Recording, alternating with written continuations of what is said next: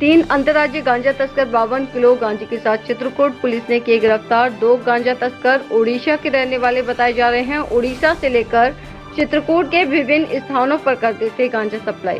खो under bridge के पास थाना कोतवाली करवी पुलिस ने रात्रि बारह बजकर तीस मिनट पर किया गिरफ़्तार। जिनके पास से बावन किलो 800 ग्राम गांजा और देसी तमंचा व कुछ ज़िंदा कारतूस बरामद किए गए।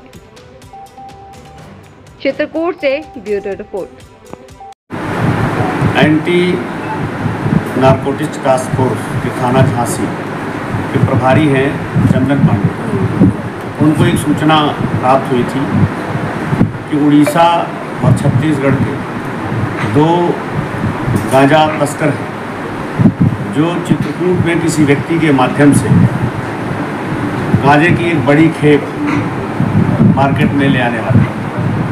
उनकी सूचना को उन्होंने शेयर किया, फिर उनकी और प्रभारी निरीक्षक कोतवाली, करवी, दोनों टीमें इसमें लगी और आज रात में सफलता मिली कि दोनों व्यक्ति जो उड़ीसा के हैं, इस्माइल खां और विष्णु साहू, और यहाँ का स्थानीय व्यक्ति विजय गुप्ता, तीनों पकड़े गए और इनके पास 50 केजी से ज़्यादा गांजा बरामद हुआ है, जिसकी कीमत मार्केट में साढ़े बारह लाख रुपए बताई जा रही है।